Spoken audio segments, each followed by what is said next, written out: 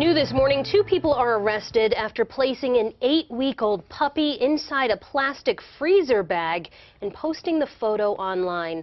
A warning now, this picture might be difficult for you to see. Officials from the Bernalillo County Sheriff's Office say Mary Snell and her son James Engel reportedly put that dog in a bag to show how small it was and to stop it from moving around so much while they took a picture.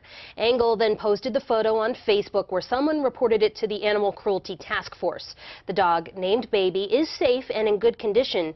Engel and Snell are charged with felony animal cruelty.